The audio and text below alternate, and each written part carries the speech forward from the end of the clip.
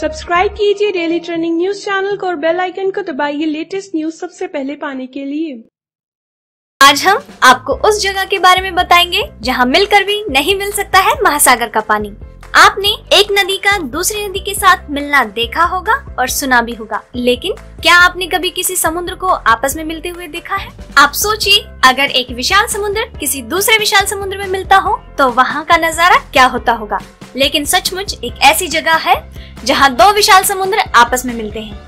आपको ये जानकर आश्चर्य होगा कि दोनों समुद्र आपस में मिलते ज़रूर हैं, लेकिन इनका पानी आपस में कभी नहीं मिलता। यह जगह अलास्का की खाड़ी है जहाँ दो समुद्र मिलते हुए दिखाई देते हैं। इस जगह आप दोनों समुद्रों के पानी में अंतर साफ़ देख सकते हैं। ये सच है कि दो रंग का पानी एक जगह आने के बावजूद भी नहीं मिलता है और अपने आप को अलग अलग बनाए रखता है। एक वैली से निकलता है उसका रंग हल्का नीला दिखाई पड़ता है दूसरा, नदियों से निकलता है, उसका पानी गहरा नीला दिखाई देता है। इसको बहुत लोगों ने धार्मिक दृष्टि से भी देखा है, लेकिन वैज्ञानिकों का कहना है कि इसका कारण खारे पानी का अलग अलग होना है।